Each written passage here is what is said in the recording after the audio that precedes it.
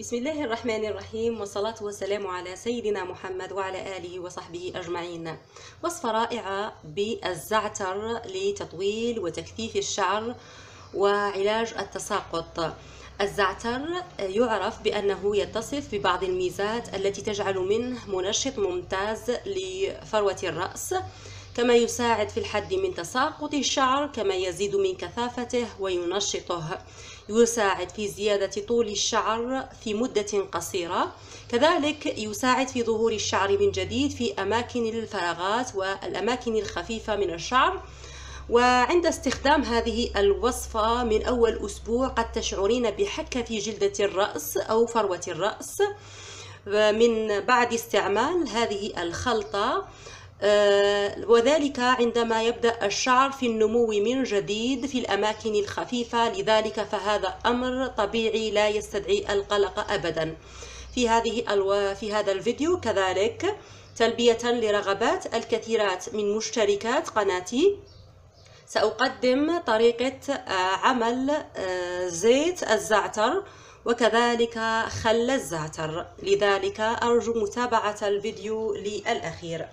أولا نبدأ بوصفة الزعتر للشعر. نأخذ الزعتر. الكل آه، يعرف الزعتر الذي يستخدم لعلاج الزكام. الزعتر وليس الزعترة الزعتر يوجد عند العطار يؤخذ مجفف في هذه الوصفة. في بعض الدول العربية الأخرى يطلق عليه اسم الأوريغانو. نأخذه مجفف بهذا الشكل. وبعدها نقوم بطحنه على شكل بودرة.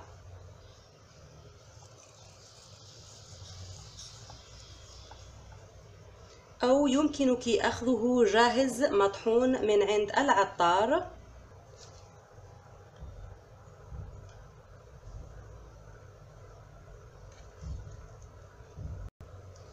نحتاج للزبادي الطبيعي أو اليوغورت يوغورت طبيعي يمكن استخدام الرايب أو الروبة لبن الرايب آه، يوغورت طبيعي. ونحتاج للزعتر المطحون. خمس ملاعق طعام كبيرة من الروبة أو الرايب أو اليوغورت صاحبات الشعر الطويل نضاعف آه، المقادير.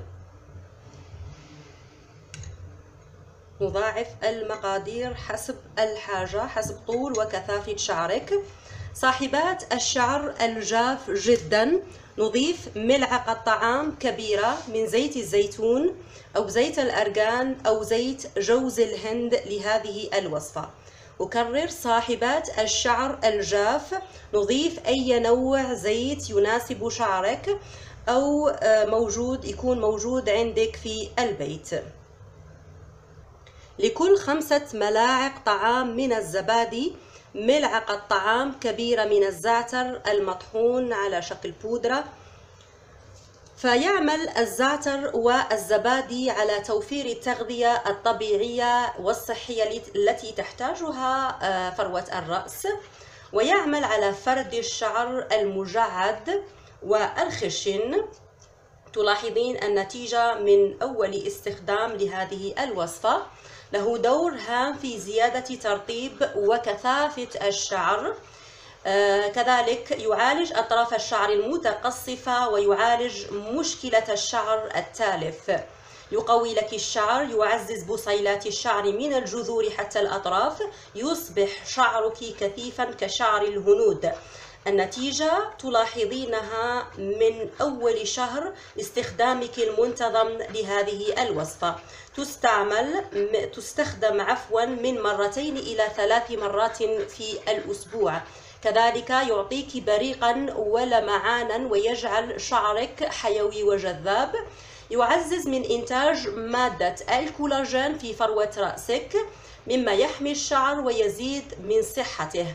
يقوي الشعر المصبوغ ويحميه من التلف. صاحبات الشعر المصبوغ يمكن استخدام هذه الوصفة دون خوف أبدا لأنه آه، يعالج قلت ويقوي الشعر ويحميه لك من التلف ومن الصبغة كذلك. يساهم بشكل كبير هذه الوصفة رائعة في الحد من تساقط الشعر. وهو آه، ممتاز. وهي ممتازة هذه الوصفة لعلاج مشكلة الشعر الخفيف.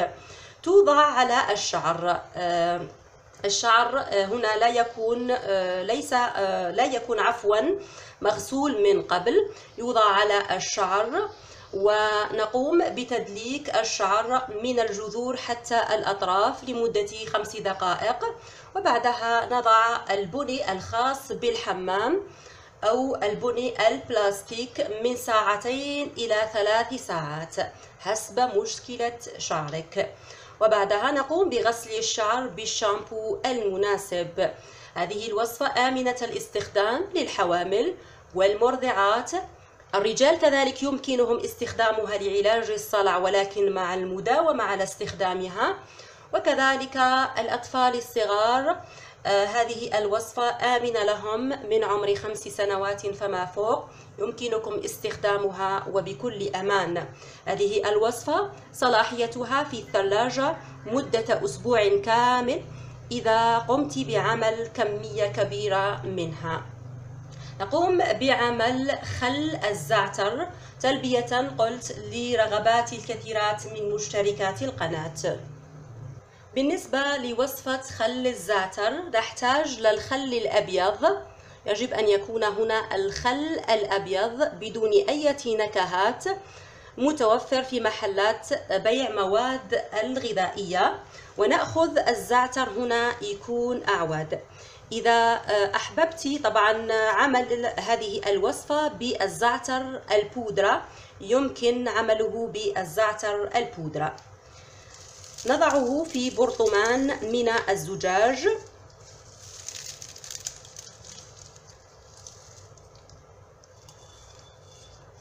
بهذا الشكل قلت يمكن استخدام الزعتر بودرة. نأخذ ملعقة طعام كبيرة من الزعتر البودرة لكل كوب من الخل الأبيض. وبعدها نقوم بغمر الزعتر بالخل الأبيض. ونقوم بغلق البرطمان جيدا. ونرج البرطمان يوميا حتى الحصول على خل الزعتر. بهذا الشكل ويترك في مكان جاف لمدة أسبوعين كاملين. إذا قمت باستخدام بودرة الزعتر النتيجة فقط لمدة أسبوع واحد وبعدها نقوم بتصفية الخل واستخدامه في الوصفات. وبالنسبة لأعواد الزعتر هنا نتركه لمدة أسبوعين كاملين وبعدها نقوم باستخدامه. يحفظ في مكان بارد وجاف. وبعدها نقوم بعمل زيت الزعتر. لعمل زيت الزعتر نأخذ زيت ذرة أو زيت دوار الشمس أو زيت زيتون.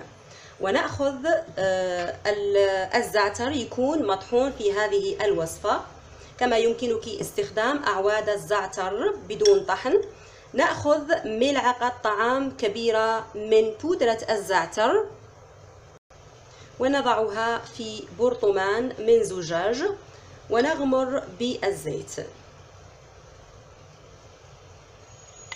حوالي الكوب من الزيت لكل ملعقة طعام كبيرة من الزعتر. وبعدها نقوم بوضع البرطمان في حمام على حمام ماء عفوا لمدة ساعة كاملة.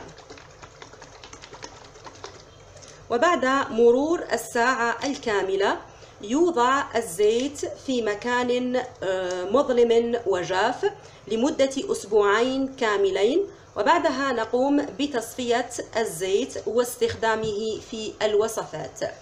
فيعتبر أو يتمتع الزعتر بالعديد من الفوائد الصحية والجمالية وذلك لأنه يحتوي على العديد من الزيوت المفيدة والفيتامينات كما يحتوي أيضا على نسبة عالية من البوتاسيوم والحديد والكالسيوم وكذلك مغنيسيوم. ولزيت الزعتر أو الأوريغانو كما يسمى في بعض الدول العربية الأخرى فوائد كثيرة للشعر.